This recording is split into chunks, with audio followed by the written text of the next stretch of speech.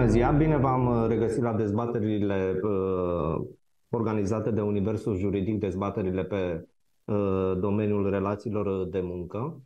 Uh, astăzi am plăcerea de a avea alături profesioniști în, uh, și practicieni în această uh, zonă a relațiilor de muncă uh, și voi avea uh, plăcerea de a-i uh, prezenta în ordinea în care aceștia vor prezenta temele de discuție. Uh, doamna conferențiar dr. Felicia Roșioru de la Facultatea de Drept din Cluj. Bună seara, mulțumesc pentru invitație. Bună ziua, mulțumesc mult pentru invitație. Uh, de asemenea, alături de noi este uh, colegul avocat din Baroul București, dr. Aurelian Gabriel Uluitu. Bună ziua!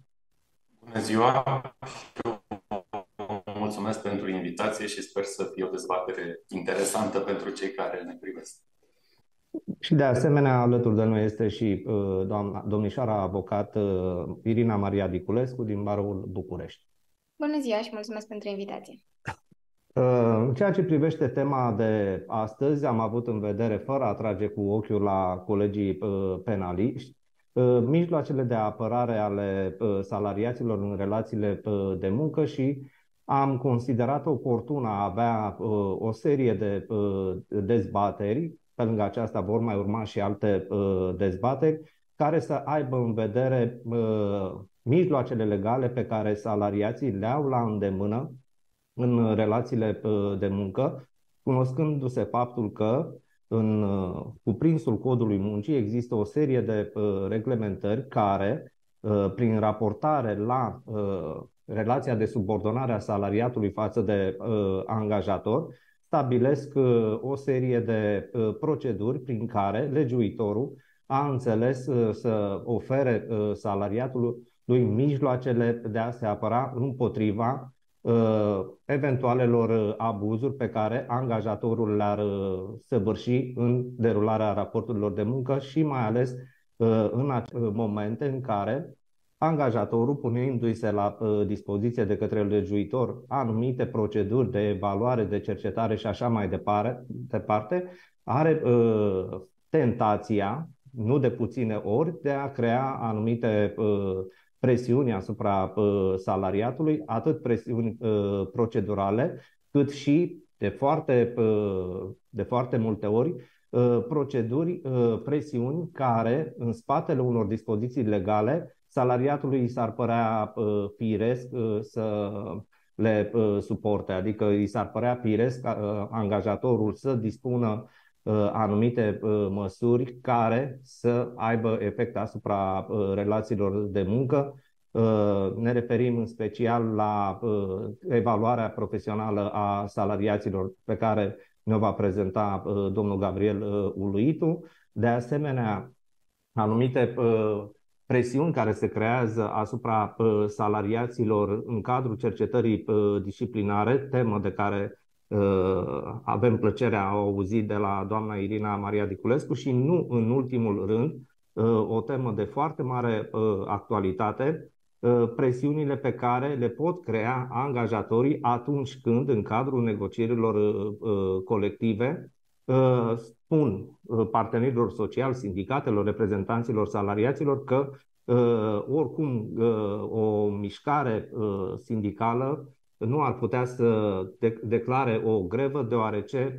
hățișurile legislative sunt destul de greoaie. Astfel, prin prisma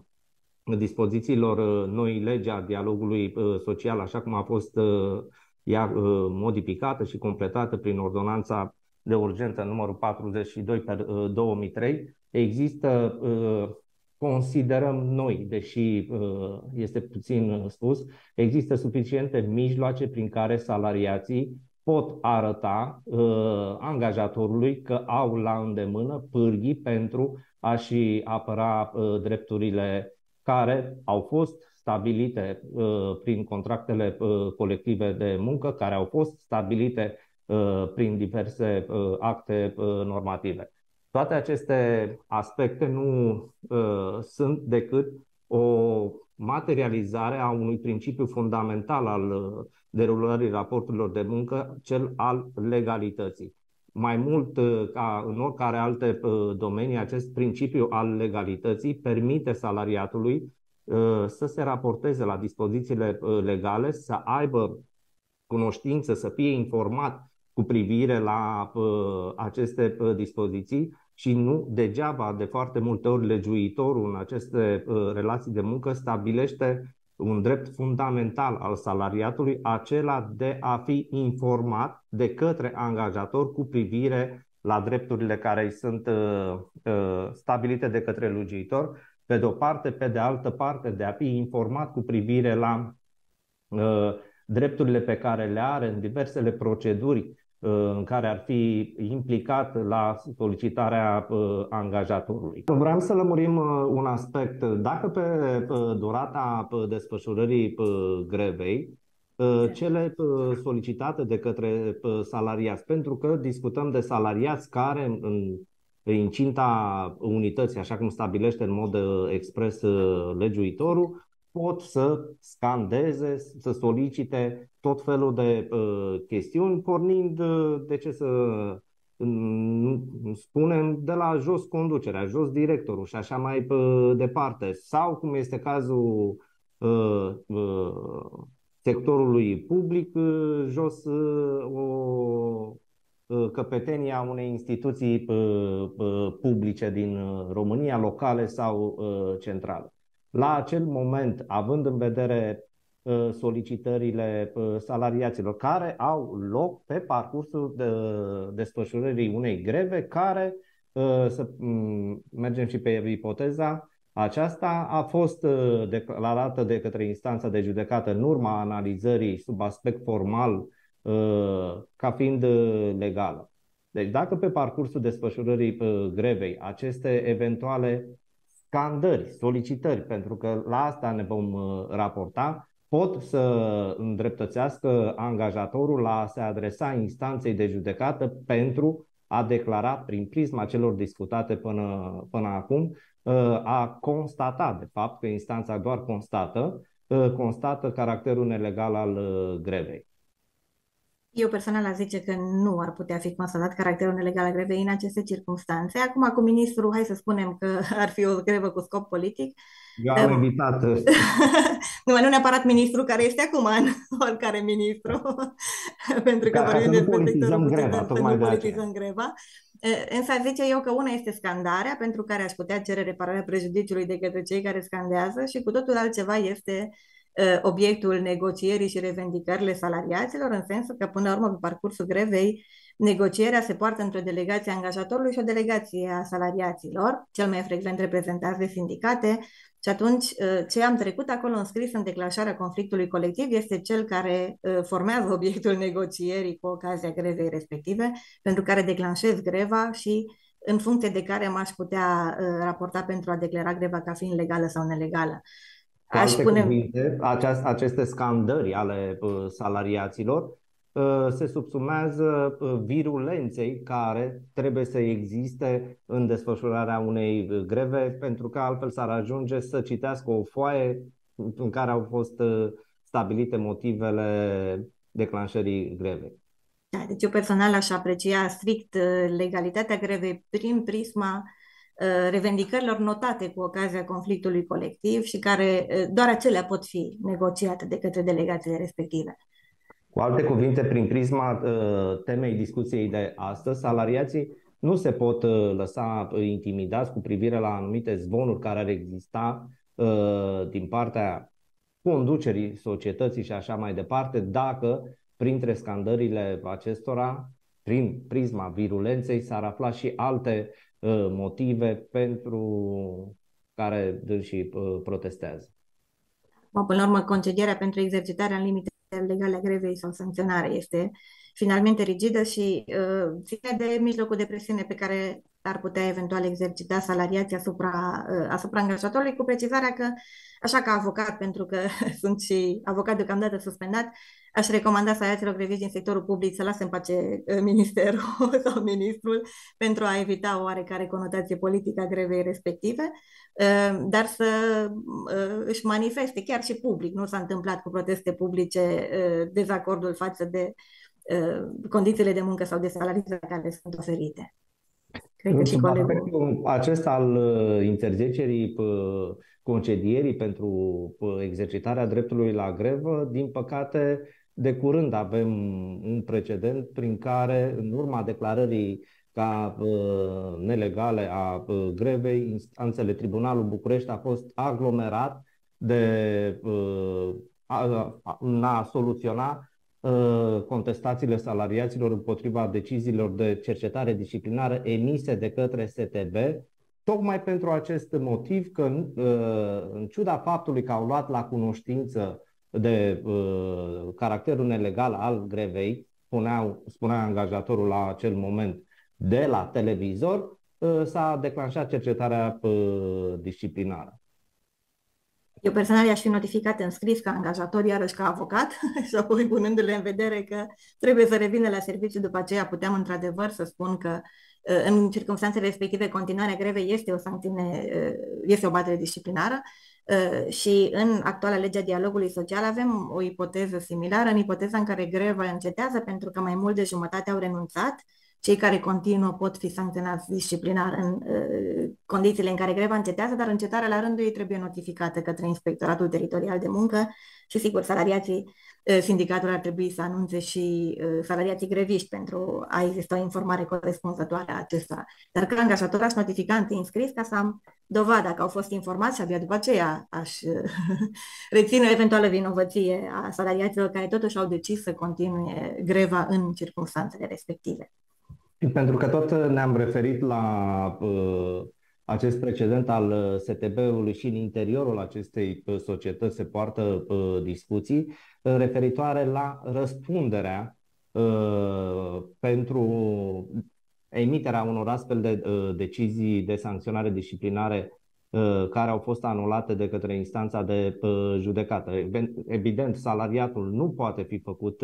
răspunzător, rămâne uh, în discuție dacă uh, conducerea societății sau organizația sindicală este cea care uh, ar fi răspunzătoare pentru eventualul prejudiciu suferit de către angajator. Este o discuție. Discuție. Acum, a zice că la noi în România este încă foarte mult loc de discuție referitor la răspunderea organizatorilor grevei. Uh, care poate s-a mai extins prin legea, actuala legea dialogului social, aceasta cuprinzând prevederi poate și mai puțin precise decât anterioara și lăsând la latitudinea instanței în multe cazuri uh, aprecierea existenței și a întinderii uh, prejudiciului. Sigur că există obligația de informare între sindicat și salariat. Acum, eu personal, în cazul acesta, așa la mai degrabă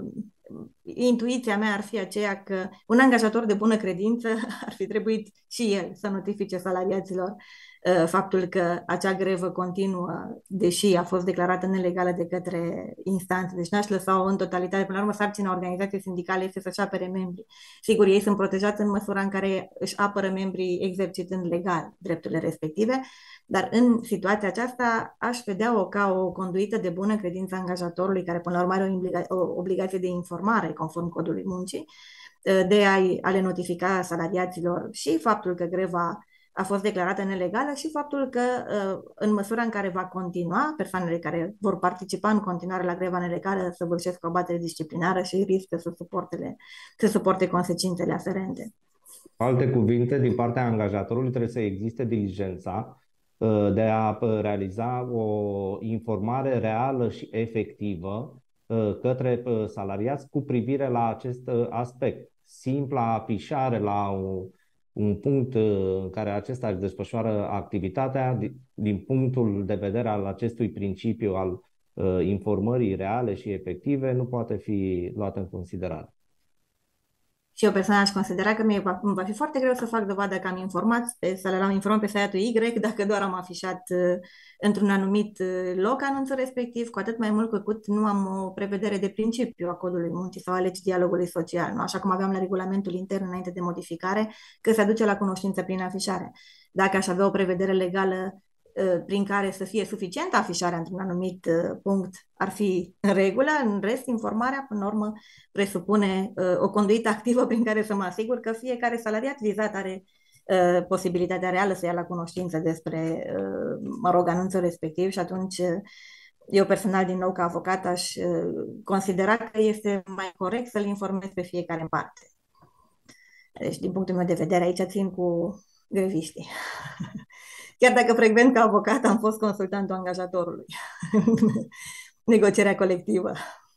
Da, și aș dori să, să revenim la lămurirea pe aspectului referitor la uh, răspunderea pentru uh, prejudiciile produse pe salariat, uh, angajatorului în situația în care a fost uh, declarată, uh, constatată ca fiind nelegală o grevă. Cred că ar trebui să avem în vedere două momente. Momentul până la care instanța de judecată constată caracterul nelegal al grevei, unde cred că funcționează o prezumție de legalitate ca orice alt act juridic, și momentul ulterior constatării de către instanța caracterului nelegal al grevei. Acum aici, categoric, după ce am o hotărâre a instanței prin care greva este constatată ca având un caracter nelegal, intervine și efect obligatoriu al hotărârii instanței și deja reaua credință, culpa celor care ignoră hotărârea respectivă, ar fi poate depus în discuție, știu că era lansată în jurisprudența germană, o discuție dacă am o grevă care este vădit nelegală, Uh, și dacă în acest context nu aș putea să atrag totuși răspunderea organizatorilor grevei, care prin, prin ipoteză ar fi cei uh, care ar trebui să fie informați în legătură cu toate etapele legale unei greve. Uh, și acum, repet, în funcție de cât de vădit nelegală este greva, eu personal n-aș exclude posibilitatea de a antrena, dar doar răspunderea organizatorilor uh, grevei respective, cu atât mai mult cu cât, nu știu, vorbesc de o organizație sindicală reprezentativă sau de o organizație sindicală afiliată la o federație sindicală reprezentativă și care este consiliată de acea federație sindicală. Deci, în exemplul acesta sunt perfect de acord că trebuie să țin cont de ce s-a întâmplat înainte de hotărârea instanței și după hotărârea instanței și după hotărârea instanței răspunde toată lumea care face grevă Însă, înainte, în cazul unei greve vădit nelegale, aș vedea posibilă, dacă sunt întrunite condițiile răspunderii, sigur, și antrenarea răspunderii organizatorilor uh, greve, în special când aceștia uh, aveau un grad mai ridicat de informare decât uh, salariații care nu sunt organizați în sindicat și și-au ales un reprezentant. Cu alte cuvinte, prin raportare la dispozițiile uh, legale, uh, o grevă vădit nelegală pe care un sindicat ar putea să o observe este situația în care, și nu sunt uh, puține uh, cazuri, în care există un uh, sindicat reprezentativ care a participat la negocieri. Evident, mai poate exista și un alt sindicat în regia autonomă, sunt atâtea exemple cu structuri teritoriale și așa mai departe, iar un anumit sindicat care nu a participat la negocieri Ă, declanșează o grevă față de faptul că interesele salariaților pe care îi reprezintă nu sunt ă, aparate ă, corespunzător. Iată, suntem pe durata unei negocieri, iată, o parte dintre salariați pot să fie și ei 30% sau o masă suficientă de salariați și uh, ei, uh, reprezentați de o, de o altă organizație uh, sindicală, de un alt uh, sindicat, declanșează uh, greva. Zice că aici, în sfârșit, ordonanța de urgență 42 clarifică lucrurile, în sensul că um, instituie ca entitate, să-i spunem, principală de negociere sindicatul reprezentativ și ce se clarifică lucrurile, pentru că precizează de fiecare dată că în lipsa sindicatului reprezentativ ar putea să fie declanșată greva respectivă de către sindicatul nereprezentativ. Atunci, în această ipoteză, ne place, nu ne place, din nefericire, sindicatul reprezentativ este actorul care poate negocia colectiv respectiv, care poate să declare greva în condițiile în care sau în măsura în care uh, acea negociere colectivă nu se uh, derulează în mod corespunzător. Uh,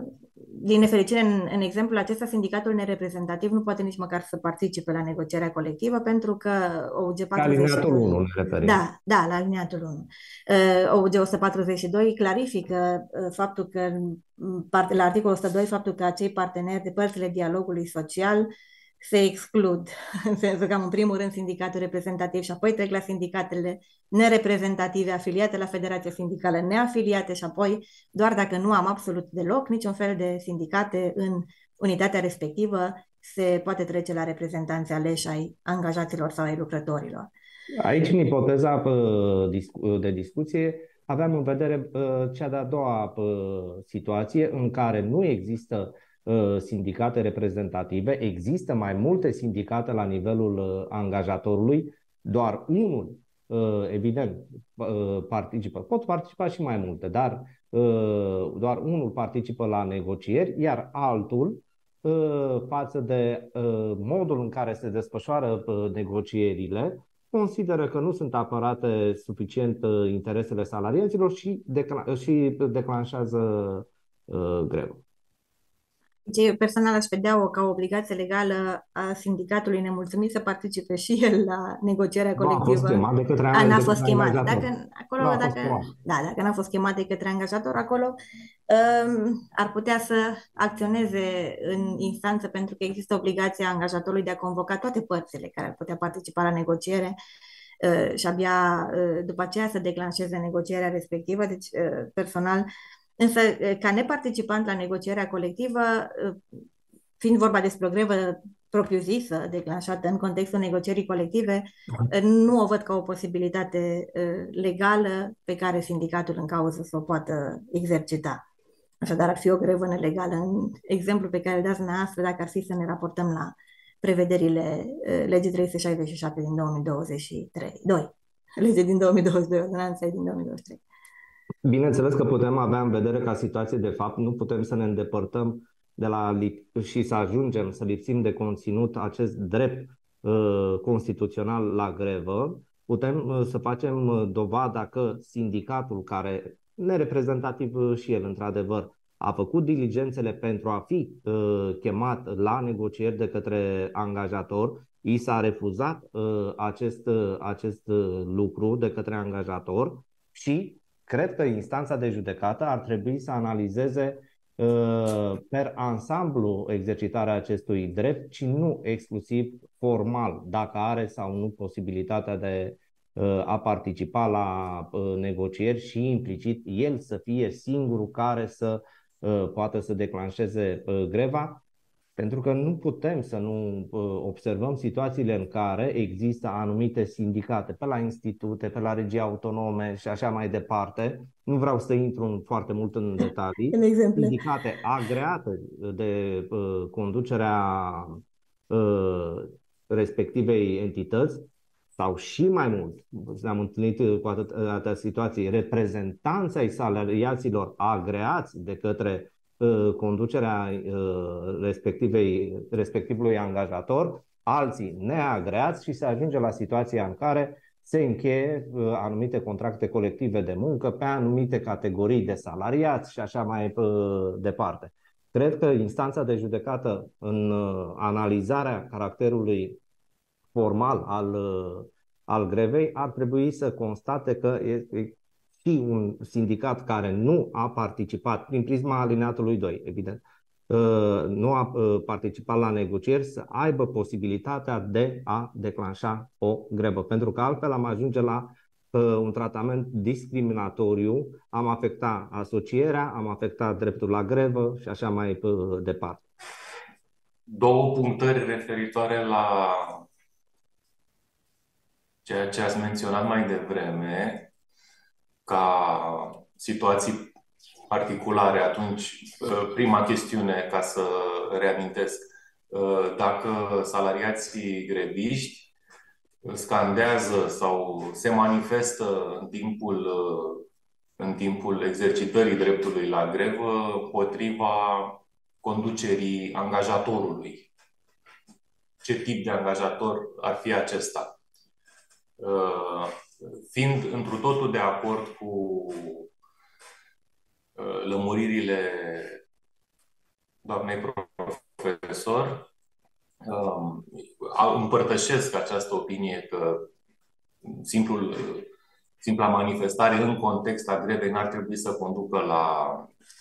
declararea grevei ca fiind ilegală, dar rămâne totuși de subliniat că greva este un act cauzal. Necesită în permanență justificarea unei cauze licite. Astfel cum aceasta este, se, se poate determina din reglementarea contextului și motivelor ce pot fi susținute prin declanșarea și manifestarea grevei. Deci, cauza licită a grevei rămâne de observat pe întreaga durată a desfășurării ei, ne putând să nu ne imaginăm că, deși odată tribunalul s-a pronunțat în sensul respingerii cererii angajatorului de declarare a grevei ca neconformă sau de legală, să se revină ulterior în funcție de manifestările concrete ale salariaților. Iar ceea ce vroiam să, să punctez aici, dacă revendicarea constând, care poate apărea dincolo de, de cadrul inițial revendicativ, dacă o solicitare de schimbare a conducerii angajatorului dobândește caracter esențial în manifestarea salariaților, atunci un astfel de, uh, un astfel de caz, o astfel de ipoteză poate să antreneze în legalitatea grevei. Dar cu această precizare. Salariații și sau uh, organizatorii să afirme că nu se mai poate continua cu actuala conducere care nu le, nu le rezolvă niciuna dintre problemele solicitate și ca atare pentru a rezolva negocierea, pentru a încheia conflictul, este necesară și ei solicită schimbarea conducerii. Într-o astfel de ipoteză, cred că tribunalul ar putea constata sau reveni asupra constatării inițiale, de care nu este ținut, și să declare, declare nelegalitatea grevei. A doua chestiune, foarte, foarte interesantă, referirea la manifestarea aceasta a libertății sindicale, a dreptului la grevă în contextul a ceea ce s-a întâmplat în uh, Societatea de Transport București, unde fiecare a avut, ca în viață, fiecare a avut partea, ca în orice căznicie, nu? Fiecare a avut partea lui de vină. Articolul 59, litera B din Codul Muncii, este limpede în abstractul exprimării sale. Textul spune că exercitarea dreptului la grevă și a drepturilor sindicale, în condiții de legalitate, nu poate să uh, sau reprezintă o interdicție absolută la concediere. N-a fost cazul pentru ipoteza de la STB, pentru că greva fusese declarată nelegală, deci nu mai era vorba de o exercitare în condiții de legalitate a dreptului la grevă. Alte, altele au fost motivele, cel puțin declarate, care au condus la concedierea unei părți a uh, salariaților care au uh, participat la protest. Însă uh, relaționez această situație cu una de principiu. Am observat că aceste interdicții Uh, reglementate de articolul 59 sunt oarecum percepute într-un mod particular de către instanțe. Și pe litera A cu discriminarea, cu criteriile de discriminare, și pe litera B cu exercitarea drepturilor sindicale și a dreptului la grevă. N-am apucat pe litera C că este proaspăt introdusă și nu există o uh, cazuistică în acest sens. Dar se alunecă uneori în, în, în raționament și în percepție. Chestiunea asta o spun ca experiență personală. Se alunecă foarte ușor în, anali- în uh, analiza, revin aici asupra instrumentului, cauzei deciziei de concediere. Ori niciun angajator niciodată nu va fi atât de imprudent să nu spun altfel, încât să zică, domnule, te-am dat afară pentru că ai participat la o grevă. Cum a fost, în cazul, cum a fost evident la STB, adică Secretul lui Polișinel. Nimeni nu o să facă treaba asta. Nimeni nu o să spună, te-am dat afară pentru că ești de o etnie sau de o religie alta decât cele pe care le prefer eu sau am ajuns eu să le prefer ca angajator. Să fie incident uh, ipoteza de la litera A articolului 59. Dar, dar, nu înseamnă că ducând decizia de concediere în instanță, titularul acțiunii să nu afirme și să îi se ofere posibilitatea să dovedească faptul că, în realitate, motivul real care a condus la uh, dispunerea măsurii a constat într-una dintre situațiile interzise de articolul 59. Ori aici, planul se rupe, se rupe relația logică. Da, și dacă mi se permite. Oferă posibilitatea lui și ceea ce instanțele percep. Instanțele nu.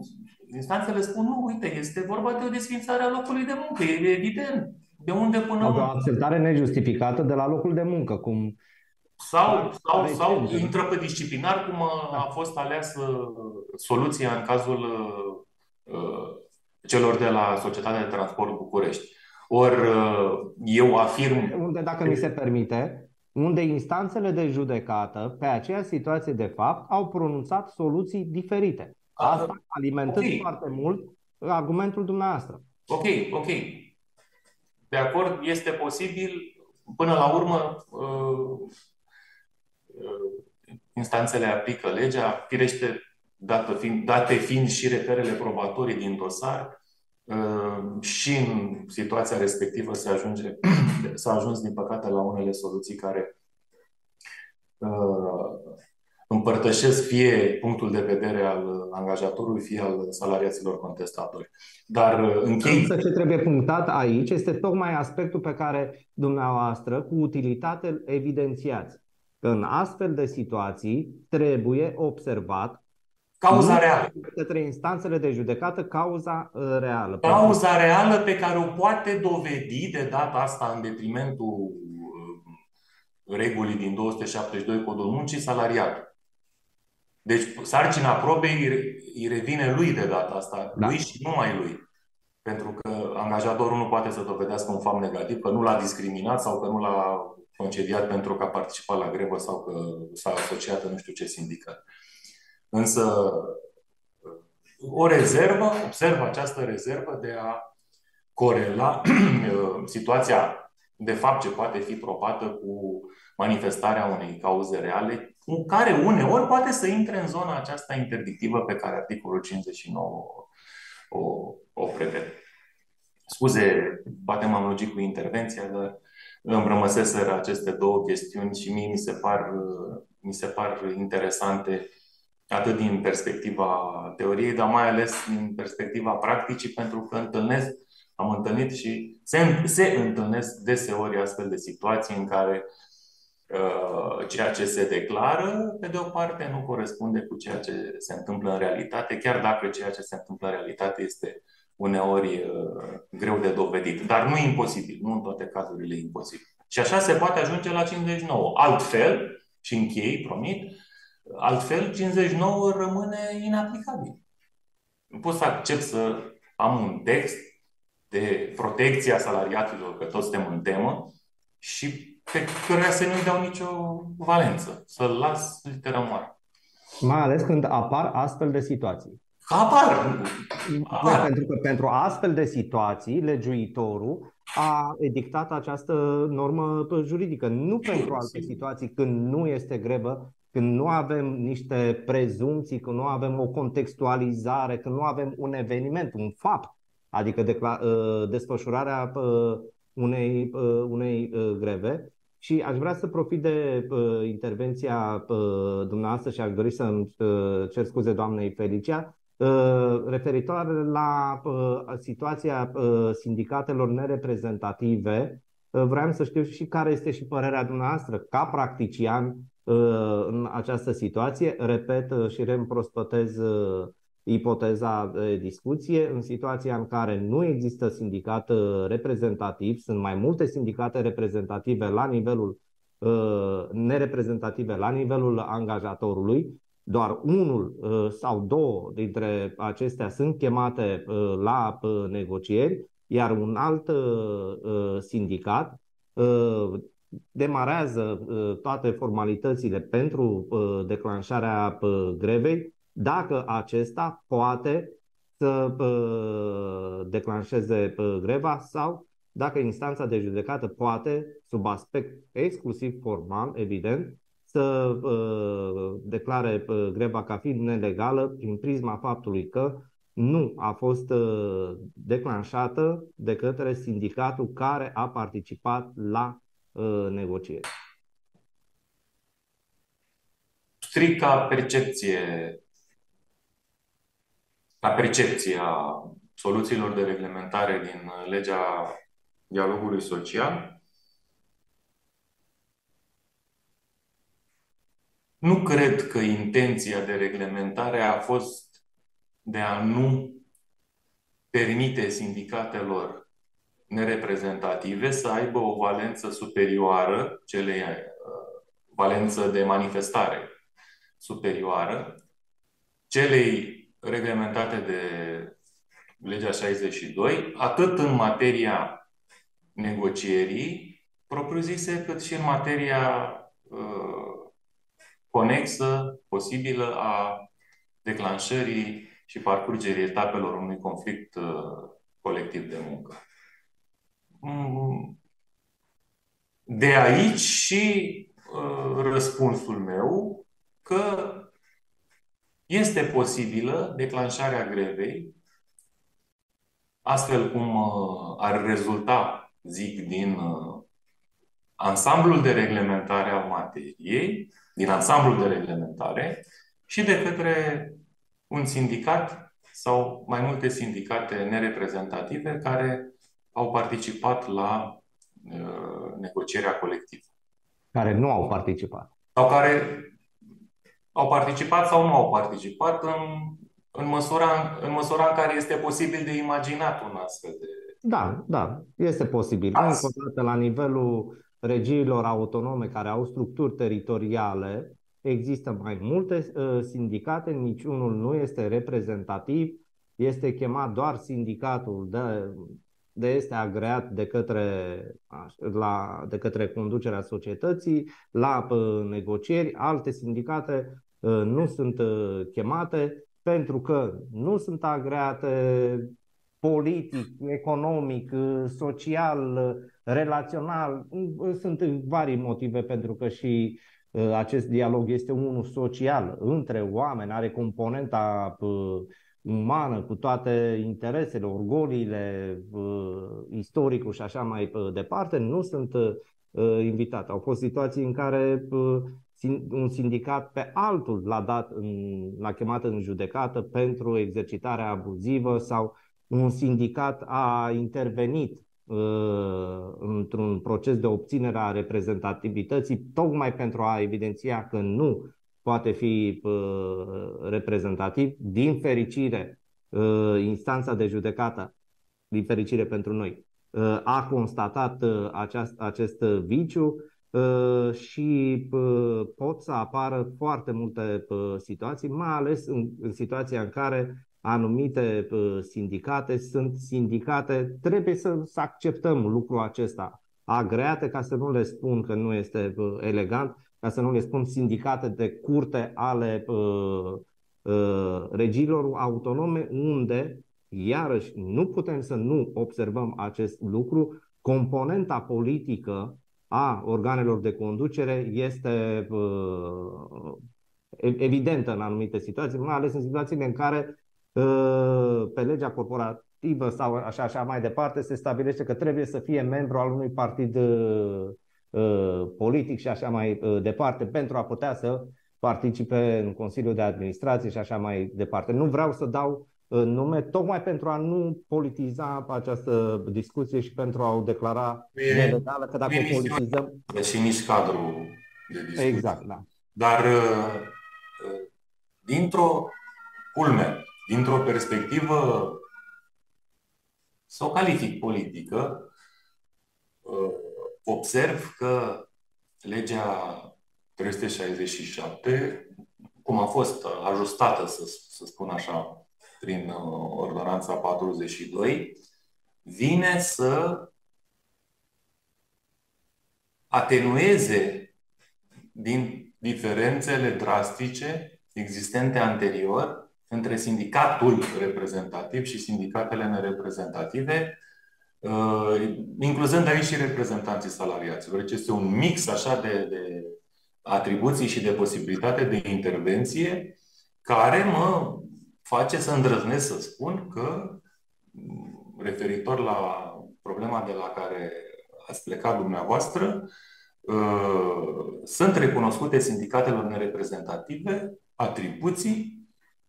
uh, quasi similare unui sindicat uh, reprezentativ în contextul negocierii colective și a parcurgerii etapelor conflictelor colective de muncă. Lipsa unor repere jurisprudențiale, deci practic nu avem intervenția instanței până la acest moment, pentru că reglementarea nouă și obiectiv nu a permis, uh, dar fără a avea un, unul sau mai multe repere jurisprudențiale, cred că o grevă declanșată de un sindicat reprezentativ în acest context nu este uh, prin sine însă și nelegală. Da, uh, dacă doamna Roșior mai are de făcut anumite precizări cu privire la aspectul temei dânsei, pentru că Acum, eu pe... a stârnit interes foarte mult. Mai sunt încă foarte multe, trebuie multe întâlniri doar pe diferitele tipuri de grevă și pe diferitele forme de dialog social. Acum, eu personal uh, rămân în continuare precaută și uh, pentru că, în general, instanțele sunt conservatoare, uh, nu aș risca așa pe linia directă, să-i spunem, pentru că, pe de o parte, ar trebui să fiu participant la negociere, pe de altă parte, ar trebui să fie vreuna dintre ipotezele de la articolul 126 să declanșez conflictul colectiv, ori din nefericire nu este. Ar fi minunată o propunere de lege ferenda ca una dintre situațiile, că tot o să mai cârpim legea dialogului social, pentru că mai este încă foarte mult loc, între situațiile care se permit în mod declanșarea conflictului colectiv să fie aceasta, cea în care angajatorul refuză să uh, invite toate părțile la negociere. Acum, având în vedere că există pentru instanță varianta simplă a refuzului înregistrării contractului colectiv de muncă, repeta și precaută, uh, pe ce aș merge mai degrabă, aș încerca să o întorc pe dreptul pe convențiile internaționale care prevalează față de normele interne Uh, pentru a justifica o asemenea, uh, un asemenea drept la grevă. Da, înclin să cred că aceasta este uh, concluzia dincolo de tentația instanțelor de judecată de a analiza exclusiv formal legalitatea sau formalitatea sau nu a unei greve, tot instanțele de judecată au posibilitatea analizând ansamblul dispozițiilor uh, legale interne și cum făcea foarte bine uh, referire uh, și doamna Roșioru, ansamblul dispozițiilor europene, să constate că acest aspect formal va conduce la lipsirea de conținut a multor altor reglementări interne și europene. O să-l rog pe domnul Gabrielul Luitu să începem o discuție iarăși la fel de amplă, care ar naște pă, discuții pe situații nu atât cât și-ar, ne-am închipui particulare, referitoare la mijloacele pe care le are la îndemână salariatul în cadrul procedurii declanșate de angajator pentru verificarea aptitudinilor profesionale ale acestuia, cunoscându-se faptul că atât uh, codul muncii cât și cu precădere regulamentul intern al angajatorului stabilește o procedură specială în acest uh, sens sau la nivelul angajatorilor mai diligenți există uh, proceduri uh, destul de greoaie, greoaie în ale uh, desluși, uh, în special de avocați, dar mai ales de instanțele de judecată care cu greu pot să pătrundă în uh, acele uh, crengături uh, umane, relaționale stabilite de către angajator, unele, și nu au fost situații, puține situații, unele importate din alte țări și implementate la nivelul angajatorilor din, din România. Vă rog. O primă chestiune ca să fac tranziția între cele două teme. Din păcate, am tot pomenit de instanțe, din păcate, și reglementarea din legea dialogului social și, să zic, cadrul normativ în materia aceasta a evaluării profesionale ar împinge în continuare foarte multe situații să fie deduse instanțelor. Adică furni, sunt de, de natură, au potențialul de a conduce ca ultimă și ca, ca singură soluție între noi fie vorba, să uh, necesite un proces, deci să necesite sesizarea instanței și încărcarea rolului uh, tribunalelor.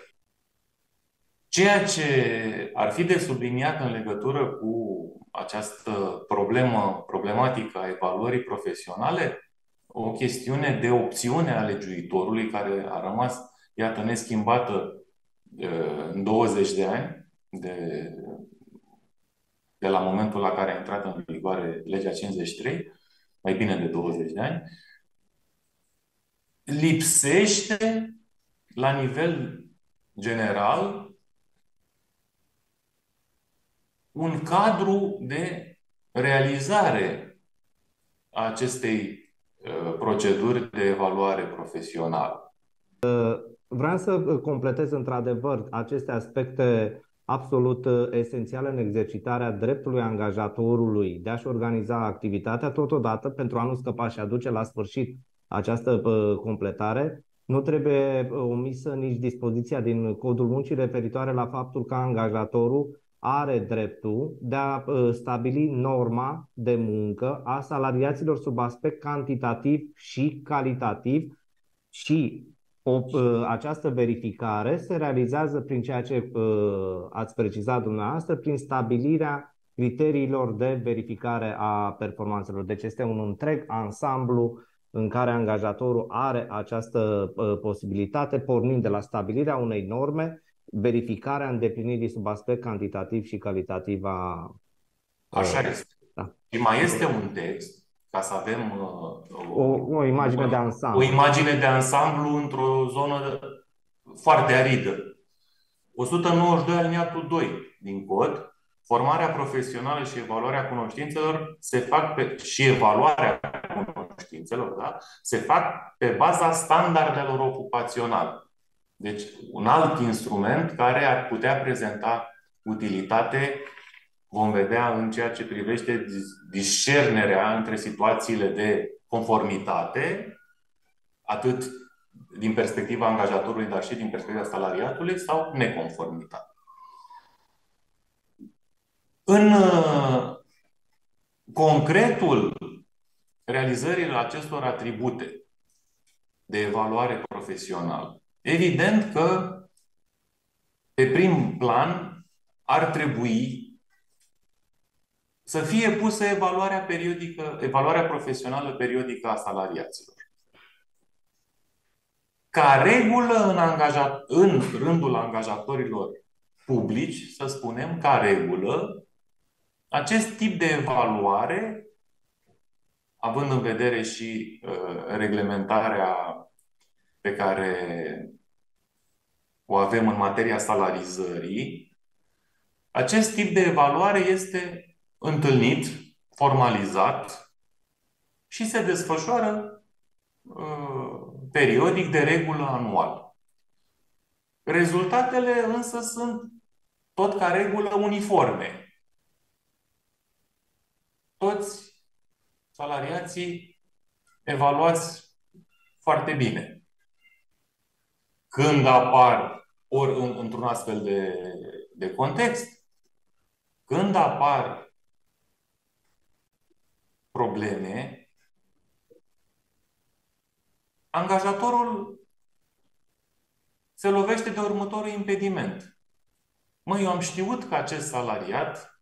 nu corespunde sau este la un nivel slab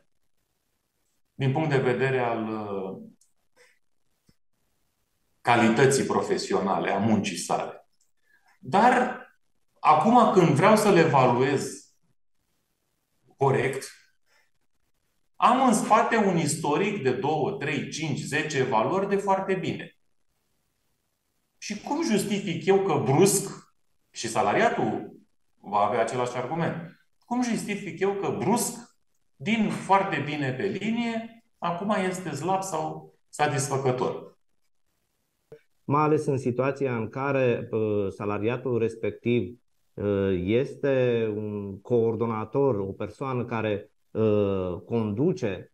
un anumit departament, toți salariații din subordinea sa au calificative foarte bune și, în mod surprinzător, cel care a coordonat respectivul departament are un calificativ nesatisfăcător pentru motivul de foarte multe ori subiectiv că nu a comunicat și n-a avut o relaționare bună cu ceilalți membri ai unității angajatoare. Și nu în ultimul rând, un aspect foarte important și de foarte multe ori am și scris pe această temă, referitor la procedurile eh, interne ale angajatorului la care făceam referire la prezentarea uh, temei uh, referitoare la mijloacele de apărare a salariaților în cadrul evaluării uh, profesionale. Da,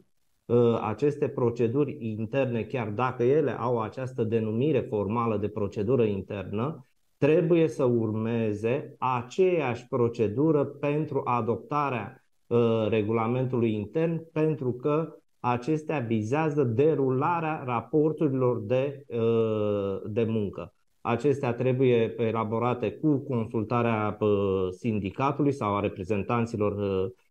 salariaților și, da, pot fi supuse analizei legalității și temeniciei instanței de judecată în termenul prevăzut, bineînțeles, de lege. Ă, astfel, instanța de judecată nu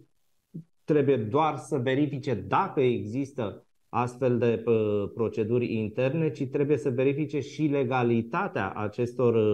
ă, proceduri prin raportare la principiile fundamentale la care a făcut referire domnul Uluitu, al uh, legalității, al de, uh, derulării raporturilor de uh, muncă în condițiile respectării bunei credințe a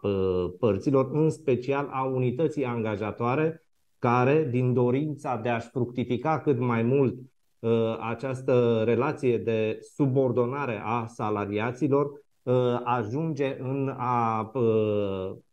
neglija niște drepturi sau o serie de drepturi fundamentale ale salariaților. Și tot în aceeași manieră se procedează și în cazul procedurilor de cercetare disciplinară, când ad hoc de, de multe ori angajatorii stabilesc anumite dispoziții, decizii interne ale emise,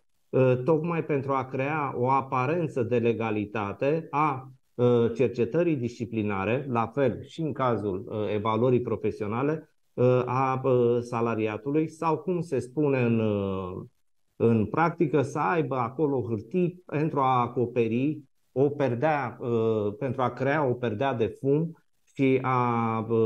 înlătura abuzurile, a ascunde abuzurile pe care angajatorii le-ar săvârși asupra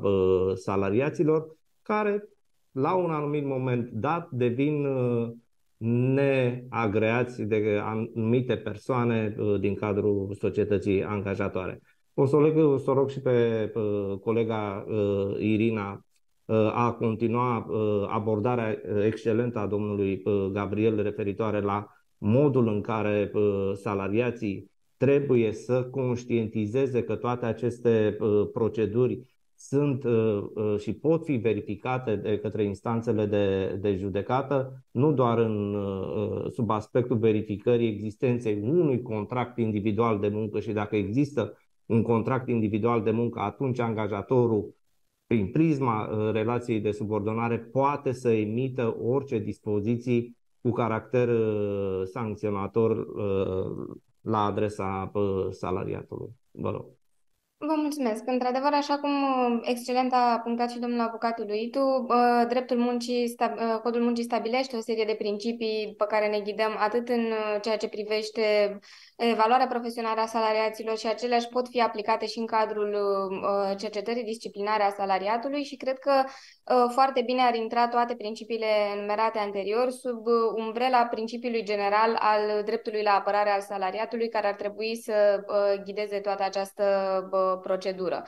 Uh, ca să îl împărțim, să-l analizăm, să-l disecăm puțin, cred că ar putea fi uh, uh, subsumat uh, a trei componente. Uh, dreptul salariatului la asistență, dreptul salariatului la informare și dreptul salariatului la uh, comunicare sau contradictorialitate în uh, cadrul procedurilor disciplinare.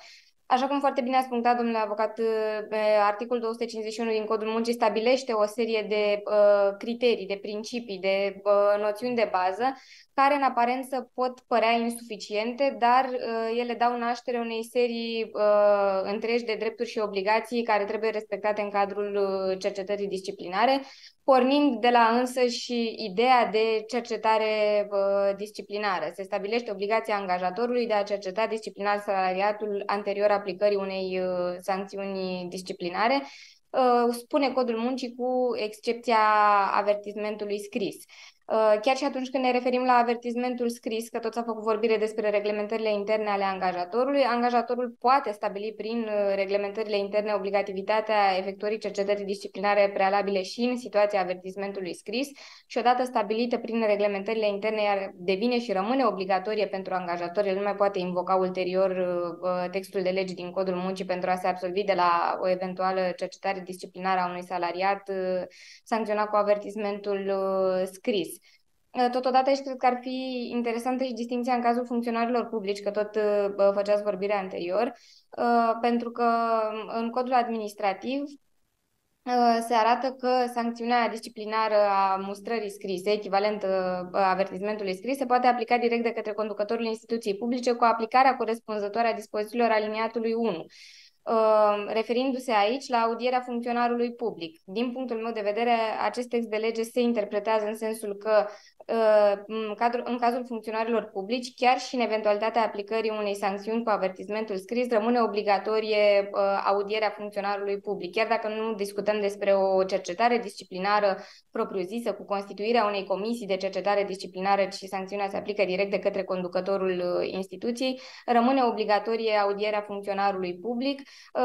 opinie care a fost de altfel îmbrățișată de instanțele de judecată, existând numeroase hotărâri ale curților de apel din uh, țară, inclusiv Curtea de Apel București, Craiova, uh, Târgu Mureș, cred că mai era. Uh, această idee apare și ca urmare a faptului că sancțiunea, aplicarea unei sancțiuni ar trebui să fie rezultatul individualizării de către angajator, fie uh, prin prisma unei comisii de cercetare disciplinară sau unei persoane împuternicite în acest sens, fie direct de către uh, conducătorul instituției, dar trebuie să fie rezultatul analizei uh, faptei ce se presupune că ar constitui abatere disciplinară și uh, al aplicării individualizate a unei uh, sancțiuni, ci nu uh, o chestiune prestabilită de către uh, angajator încă de la momentul la care a fost uh, sesizat cu privire la uh, faptă sau uneori chiar anterior acestei uh, sesizări. Uh, Astfel putem împărți și cercetarea disciplinară în uh, etape în cadrul cărora dreptul la apărare al salariatului se reflectă în uh, mai multe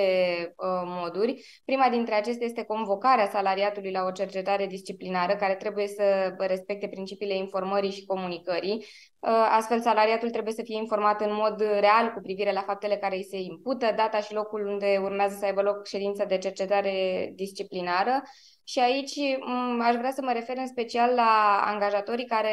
au tendința de a invoca, în, de a indica în cadrul convocării, exclusiv mm, normele din regulamentul intern sau din reglementările interne care au fost încălcate, inclusiv astfel de dispoziții apărute peste noapte, cum arăta mai devreme domnul avocat Preduț, Uh, se invocă pur și simplu încălcarea unui anumit, uh, unei anumite reglementări interne fără a se individualiza. Nu este suficient nici măcar atunci când uh, angajatorul este diligent și reglementează specific o abatere disciplinară. Dau exemplu fotografierea în cadrul uh, unității. Nu este suficient să se arate prin convocare că s-a încălcat această normă referitoare la fotografierea în cadrul unității, fiind necesar să se individualizeze acest comportament al salariatului. Când s-a încălcat, cum s-a încălcat, astfel încât salariatul să aibă uh, posibilitatea efectivă de a-și construi apărări. Cu atât mai mult nu pot fi considerate suficiente Uh, din punct de vedere al informării salariatului, indicarea unor aspecte cum ar fi nerespectarea atribuțiilor stabilite din fișa postului sau nerespectarea atribuțiilor uh, sau nerespectarea uh, dispozițiilor superiorului ierarhic. Salariatul trebuie să aibă cunoștință exact care este fapta care este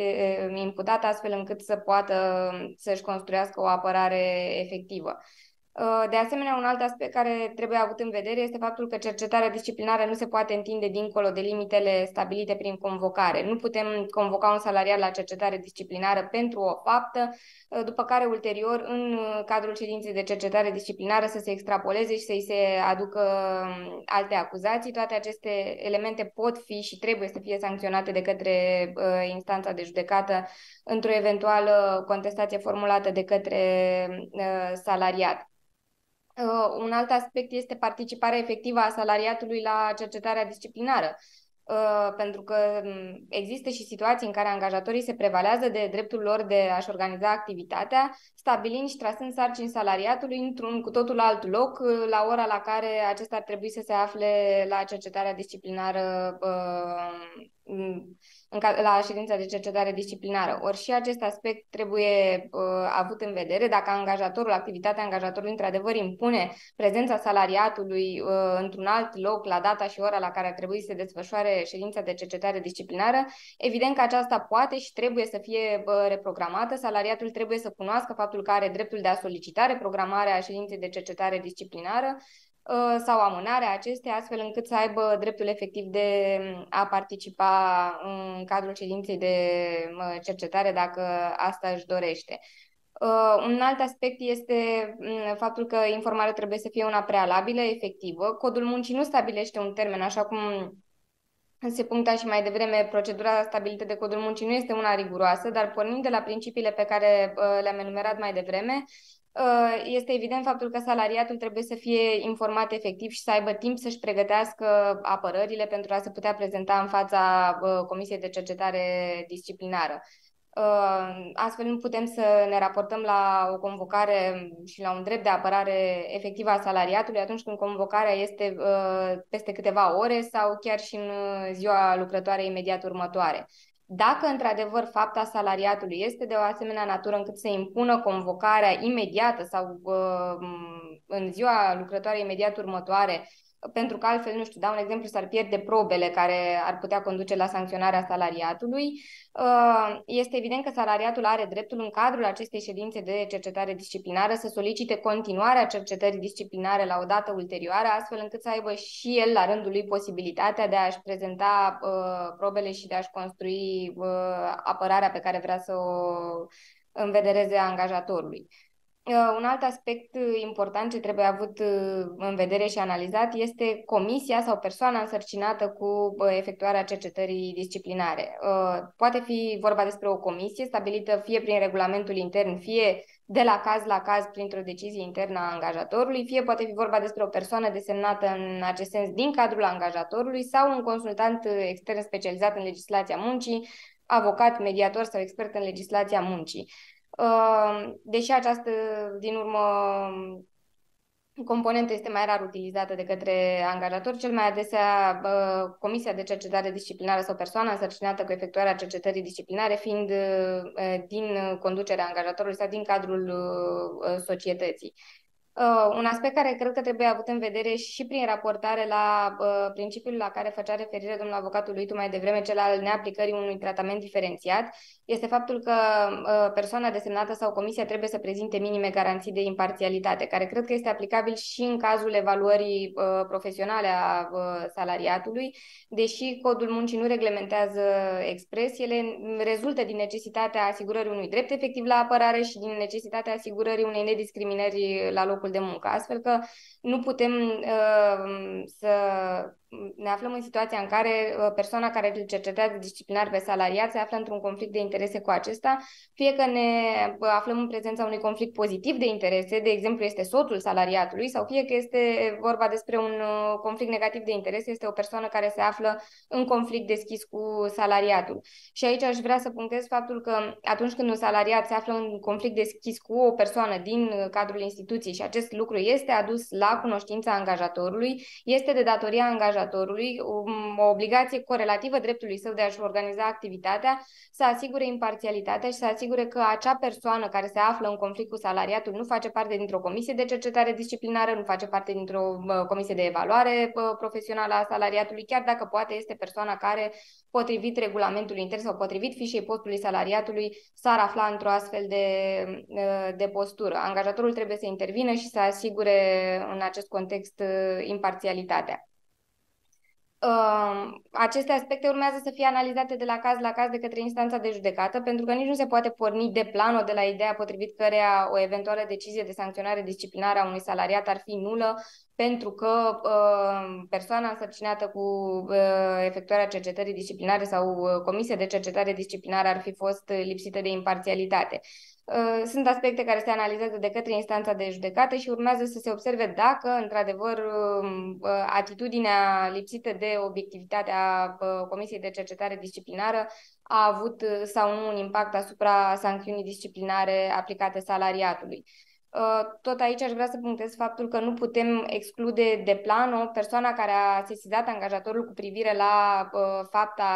săvârșită de către salariat uh, ca membru al Comisiei de Cercetare Disciplinară sau persoană însărcinată cu efectuarea cercetării disciplinare. Uh, faptul că un salariat sesizează un anumit comportament uh, al altui salariat nu îl face automat incompatibil să-l cerceteze disciplinar pe acesta din urmă, atâta timp cât în cadrul cercetării disciplinare prezintă garanții suficiente cu privire la imparțialitate, adică nu pleacă de la propriul rechizitoriu cu ghilimelele de rigoare pe care la final îl uh, semnează,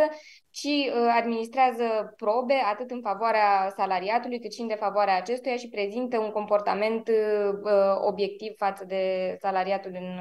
discuție. Um, pe de altă parte, aceste aspecte pot fi avute în vedere și prin analogie cu dispozițiile codului muncii privind desemnarea unui consultant extern, pentru că acolo s-au stabilit uh, niște criterii în sensul că uh, angajatorul are obligația de a desemna persoane care să acționeze în condiții de obiectivitate, bună credință, neutralitate și imparțialitate. Este evident că aceleași uh, garanții uh, trebuie să se aplice și atunci când vorbim despre o comisie de cercetare disciplinară sau o persoană însărcinată din cadrul uh, angajatorului. Și un alt aspect care cred că trebuie avut în vedere, mai ales în acest context al uh, posibilității de a desemna un consultant extern, este acela al faptului că persoanele care uh, analizează fapta salariatului, care cercetează fapta salariatului, trebuie să fie în măsură a înțelege activitatea salariatului, activitatea angajatorului și uh,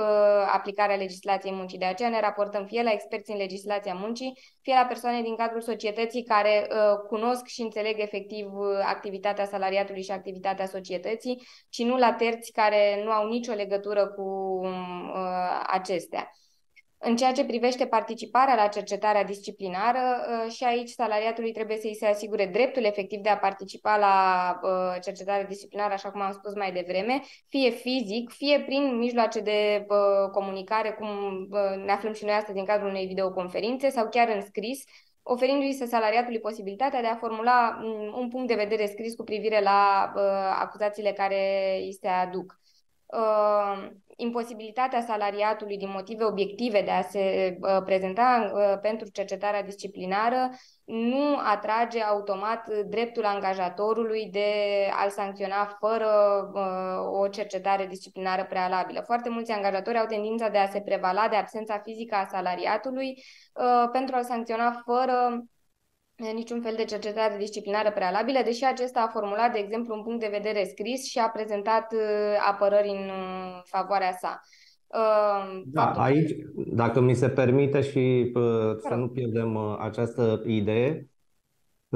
de foarte multe ori angajatorul confundă cercetarea faptelor cu cercetarea salariatului. Din dorința de a-l chema acolo, în birou, într-un birou,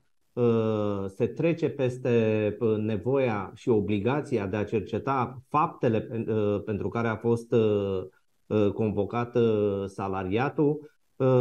prin diverse intimidări, prin diverse presiuni care se creează asupra acestuia. De aceea, ca un mijloc de apărare, și vreau să punctez acest, acest lucru, ca un mijloc, ca o fructificare, ca o materializare a dreptului la apărare al salariatului în cadrul cercetării disciplinare poate fi și o notă explicativă elaborată cu calm de către salariat fără teama de a fi supus unei presiuni și a unor tensiuni în cadrul ședinței de cercetare disciplinară unde vine directorul X, unde vine celălalt și așa mai departe, notă explicativă care are aceeași valoare uh, ca și o uh, notă explicativă care ar fi dată în fața Comisiei de Cercetare Disciplinară sau care ar fi consemnată de un secretar al uh, Comisiei de Cercetare Disciplinară. Astfel, poziția angajatorilor care se simt, între ghilimele, sfidați că uh, salariații au transmis o notă explicativă în concret față de faptele pentru care uh, a fost convocat uh, salariatul, nu constituie decât o aroganță care evidențiază faptul că angajatorul respectiv și-a dorit să cerceteze salariatul și să-l mustreze odată în plus și în fața Comisiei de Cercetare Disciplinară. Ca o uh, concluzie intermediară, angajatorul are obligația de a ține cont de uh, nota explicativă transmisă pe e-mail, uh, în format scanat, cum dorește acesta și nu poate să invoce faptul că nu, și mă exprim mai plastic, nu i-a fost satisfăcută dorința de a avea acolo în birou, poate câteodată temător, poate altădată umil, pe salariat pentru a-l cerceta disciplinar și pentru a arăta uh, angajatorul ce forță poate să aibă asupra uh, re, uh, derulării raporturilor de muncă și că poate el oricând, oricum să aplice o sancțiune uh, disciplinară. De ce am punctat cu acest verb? Pentru că da, ne aflăm uh, într-o uh, discuție, într-o dezbatere uh, care vrea să evidențieze faptul că salariații au la îndemână mijloace de apărare că pot să și le manifeste și într-un fel sau altul, nu doar în modalitatea pe care a croit-o, așa cum s-a discutat și pe uh, evaluarea uh, profesională, după bunul plac uh, angajatorul. Așa este și cred că această abordare evidențiază încă o dată însuși scopul cercetării disciplinare, în sensul că uh, acesta este acela de a oferi salariatului posibilitatea de a se apăra, de a oferi uh, posibilitatea de a se uh, cerceta fapta săvârșită de către salariat și nu persoana uh, salariatului, așa cum foarte bine punctați mai devreme, Uh,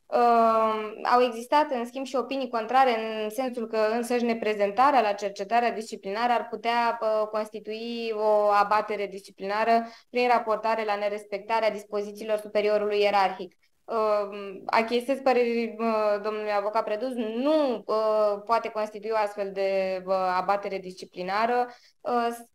este vorba despre o prerogativă a salariatului, un drept de a se prezenta în fața Comisiei de Cercetare Disciplinară și de a formula apărări și de a propune probe uh, fizic sau uh, să trimite o notă explicativă însoțită de uh, probe pentru a-și putea așeza uh, apărările fără presiuni externe Uh,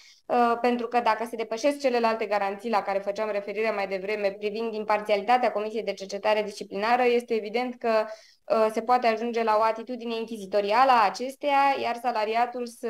uh, în loc să beneficieze de dreptul său de a fi cercetat disciplinar, să se afle în fața unui pluton, pluton de execuție și să fie împins în a face afirmații în defavoarea sa. Uh, motiv pentru care legiuitorul reglementează și dreptul salariatului de a fi asistat în cadrul unei uh, astfel de proceduri, uh, drept pe care angajatorul nu îl poate refuza, dar de cele mai multe ori salariații nu fac uz de, de această modalitate de apărare. Fie pentru că nu sunt membrii unui sindicat, fie pentru că nu anticipează necesitatea includerii unui avocat în ecuația raporturilor lor de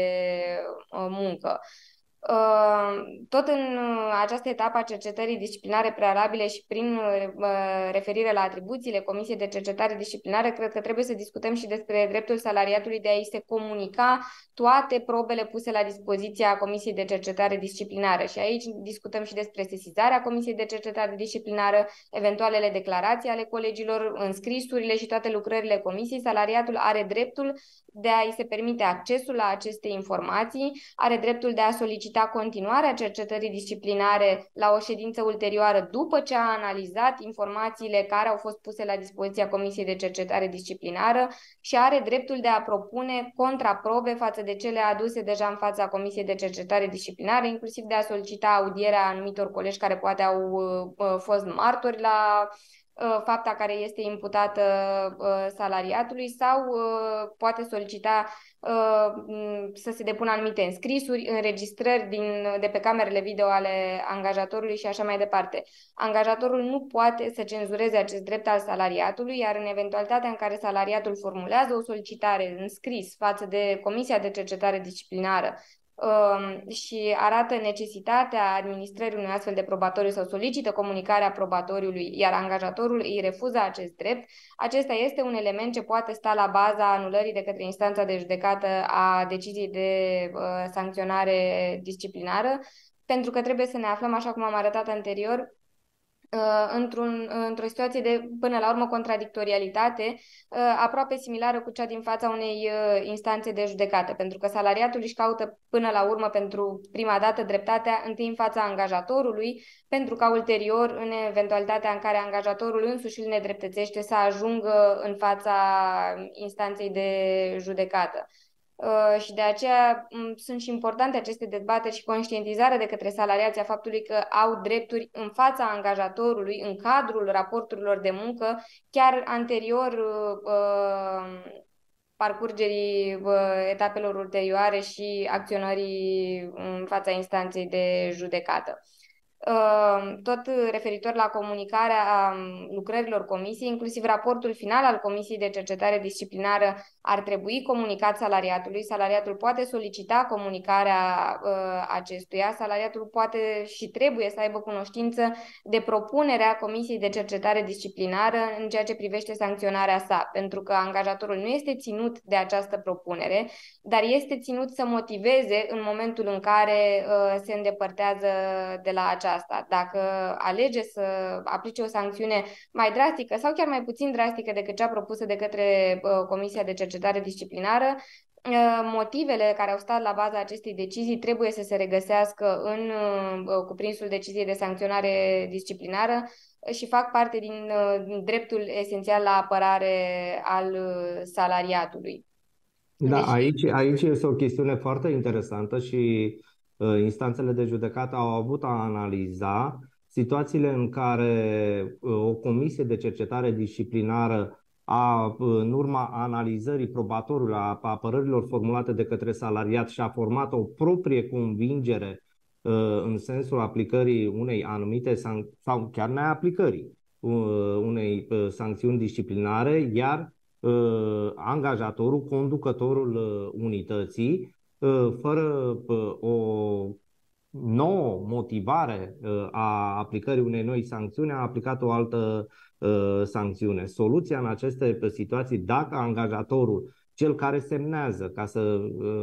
stabilim formal aspectul acesta, care semnează decizia de sancționare disciplinară, are posibilitatea de a solicita Comisiei de Cercetare Disciplinară reanalizarea sub noi aspecte a propunerii ce a fost înaintată, ci nu a aplica arbitrar, fără vreo motivare, o nouă sancțiune disciplinară. Însă, nu trebuie pierdut din vedere un aspect foarte important reținut de altă parte a jurisprudenței, cel referitor la faptul că angajatorul este cel care aplică sancțiunea disciplinară, iar Comisia de Cercetare Disciplinară este cea care efectuează uh, și materializează tot ceea ce a spus dumneavoastră mai devreme. convocare, cercetare disciplinară, administrare de probe și așa mai departe, pe care le prezintă. Poate că această formulare din codul muncii și eu am adus la un moment dat o critică, această formulare a codului muncii în sensul că virgulă, Comisia de Cercetare Disciplinară propuneri sancționarea disciplinară este una nefericită. Comisia de Cercetare Disciplinară ar trebui să se limiteze la A, cum ați făcut referire la dosarele penale, rechizitori și așa mai departe, a strânge probele în favoarea și de favoarea uh, salariatului și a le înainta în vederea aplicării uh, de unei sancțiuni de către instanța de judecată, adică de către, uh, de către uh, angajator. Nu are de ce uh, comisia să facă propuneri într-un sens uh, sau altul iar angajatorul, conducătorul unității, cel care, directorul care aplică sancțiunea, este el direct răspunzător în fața Consiliului de Administrație sau a propriului management și așa mai departe, dacă decizia de a aplica o sancțiune mai mică sau mai mare a fost una corectă prin raportare la lucrările care au fost transmise de către Comisia de Cercetare Disciplinară. Aceasta este o opinie a majorității uh, jurisprudenței, în sensul că uh, angajatorul, prin uh, organele sale de conducere, este cel care uh, aplică o sancțiune și nu este ținut a da explicații de ce nu a luat în considerare uh, propunerea uh, Comisiei de Cercetare Disciplinară. Eventual, la analizarea de către instanța de judecată a ă, temeniciei și a proporționalității, a individualizării sancțiunii disciplinare, se poate întâmplător a se da uh, o soluție, a se, a se înlocui sancțiunea cu varianta propusă de Comisia de Cercetare Disciplinară. Dar din punctul meu de vedere este o întâmplare că s-a înlocuit măsura desfacerii disciplinare cu varianta propusă uh, de Comisia de uh, Cercetare Disciplinară.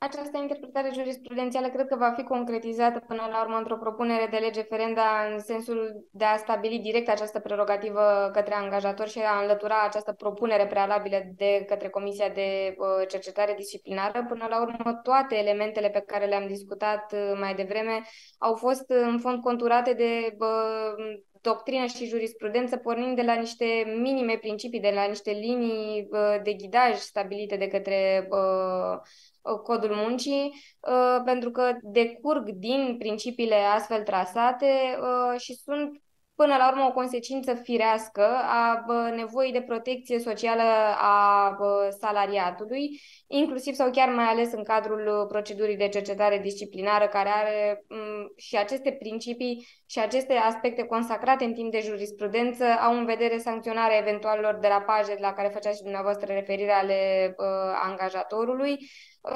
fiind absolut necesar atâta timp cât angajatorul este pe o poziție de superioritate în uh, desfășurarea raporturilor de muncă, iar salariatul are nevoie de asigurarea unui echilibru care, iată, se uh, asigură prin intermediul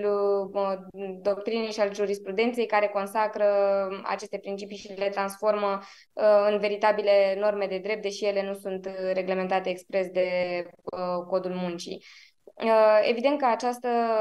cercetare disciplinară a salariatului se concretizează cu emiterea unei decizii de sancționare disciplinară care, uh, tot ca o componentă a dreptului la apărare al salariatului, trebuie să îndeplinească anumite garanții. De această dată mai uh, bine stabilite de codul muncii, stabilite punctual, uh, dar care uh, cred că urmează a fi analizate în cea de doua parte a dezbaterilor privind mijloacele de apărare a salariaților în relațiile de muncă, pentru că acestea sunt și cele pe care instanța de judecată le are în vedere la momentul la care este uh, sesizată cu o contestație împotriva unei decizii de sancționare disciplinară. Pentru că... Dar aș vrea să, să, să mai fac o precizare, dacă îmi permiteți, deși în timpul e ușor depășit, cam de fiecare dată. Este unul dintre cele mai fecunde domenii ale materiei dreptului muncii și aici nu mă refer, cum se întâmplă în alte situații, la perspectiva instanțelor judecătorești, ci la multitudinea de situații pe care le poate genera acest cadru de manifestare a răspunderii disciplinare multitudinea de probleme care pot fi afirmate, pot fi identificate. Unele, pe unele le-am auzit pentru prima dată astăzi de la domnișoara Liculescu și cât, cât, de, cât de atent trebuie să fii atunci când gestionezi o astfel de situație, fie din, din orice perspectivă, fie că ești angajator, fie că ești salariat, fie că ești avocat, fie că ești uh, instanța sesizată să soluționeze o contestație împotriva unei măsuri disciplinare. Este un domeniu fascinant. Și cât de greu este uh, ca noi, avocații, să trezim interesul instanței de judecată în momentul în care analizează o, o decizie de sancționare disciplinară. De foarte multe ori, în fața instanțelor de judecată, magistraților trebuie să li se trezească interesul că este ceva acolo. Poate că acest aspect dă și frumusețea uh, avocatului, uh, când înainte de a analiza aspectele de probatori, știm de foarte multe ori că uh, acest, uh, această etapă în care încercăm să convingem instanța de judecată că anumite, și fac referire la ce a prezentat uh, uh,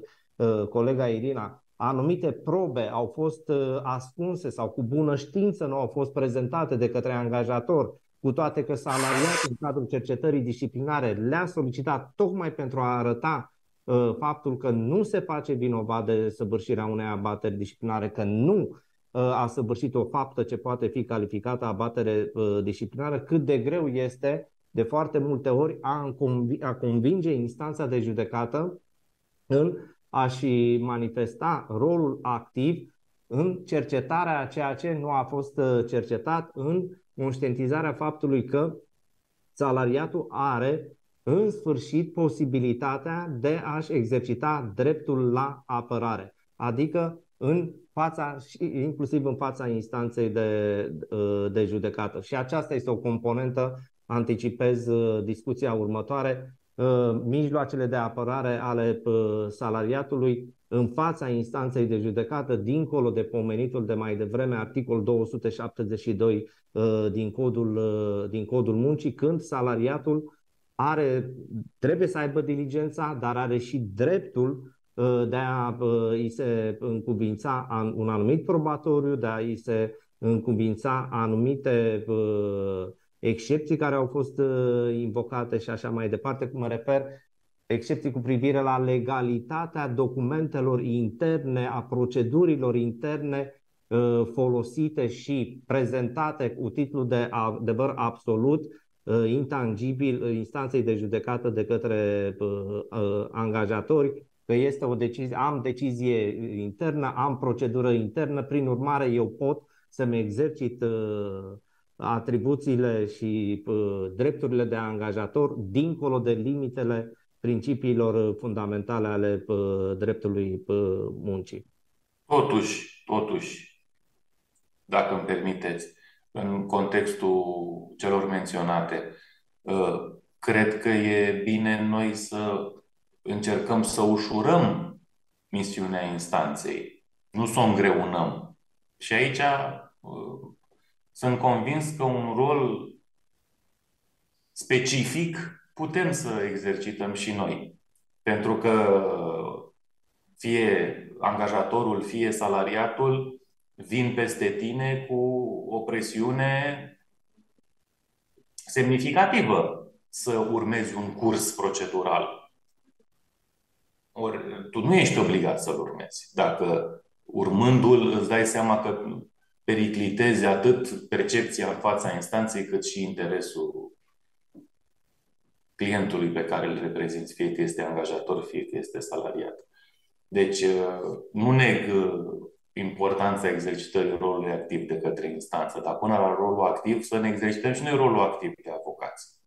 Evident. Iar acest lucru trebuie stârnit. Evident că nu este suficient și știu la ce v-ați referit uh, mai devreme. Evident că nu este suficient a se Uh, înainta o simplă cerere de chemare în judecată, ci ea trebuie să cuprindă o serie de anexe probatorii și așa mai uh, departe. Însă eu mă refeream la un aspect uh, des, des întâlnit, și pot să afirm acest lucru, des întâlnit în care instanța de, de judecată trebuie să își manifeste rolul activ în sensul că dacă salariatul face dovada uh, și prezintă niște indicii că anumite probe care, și la asta mă refeream, anumite probe care nu au fost prezentate de către angajator ar uh, conduce la stabilirea nevinovăției salariatului sau uh, la stabilirea faptului că acesta nu a săvârșit o anumită faptă, atunci, da, dincolo de puterile Uh, exercitate de către uh, reclamantul uh, salariat să își manifeste rolul activ în sensul că să pună în vedere angajatorului a depune ceea ce a refuzat, iar salariatul a evidențiat, a refuzat a depune în fața uh, Comisiei de Cercetare Disciplinară. La aceste aspecte mă, mă refeream pentru că vom ajunge în situația în care discutăm, da, cum a prezentat uh, colega Irina, uh, salariatul are dreptul de a solicita angajatorului probe în apărarea sa, angajatorul uh, refuză, merge în fața instanței de judecată, iar instanța trebuie să-și pună anumite întrebări și trebuie conștientizat acest lucru. Oare de ce angajatorul în cadrul, în cadrul cercetării disciplinare a refuzat a pune la dispoziția salariatului anumite uh, probe. Aici doream să creez un echilibru între ceea ce ați prezentat uh, dumneavoastră și uh, cele expuse până, până acum. Doresc întâi de toate să uh, mulțumesc uh, tut, am, tuturor participanților la această uh, discuție Uh, să asigurăm faptul că vom continua aceste, uh, acest modul uh, referitor la mijloacele de apărare a salariaților și vă doresc numai bine și o seară plăcută.